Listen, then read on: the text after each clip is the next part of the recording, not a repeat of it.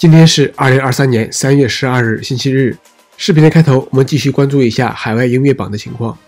前面在上一个视频中谈到，周深和毛不易合唱的歌曲《家乡人》拿下了马来西亚买二十大咖音乐榜的周榜第二。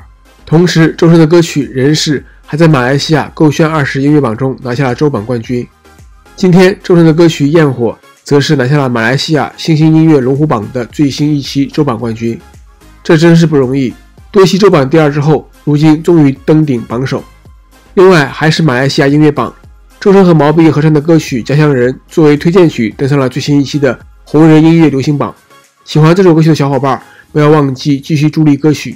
说到海外，小编再多说一句：前几天，周深参与演唱了杭州亚运会的主题推广曲《从现在到未来》。这首歌曲不仅在内地被广泛报道，在海外也有推广。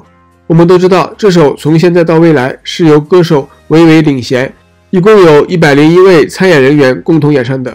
歌手维维曾经演唱过1990年的北京亚运会宣传曲《亚洲雄风》，本届亚运会再次领唱也是一大亮点。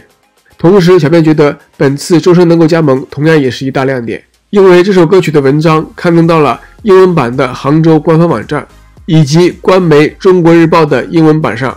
这两篇文章的一个共同点就是，一百零一位歌手中都提到了领衔的维维和周深。但是如果看中文版的宣传的话，那就不一样了。周深在海外还是有很不错的受众群体的，不知道大家是如何看待的呢？欢迎留言评论，同时欢迎订阅我们，每日都有精彩更新。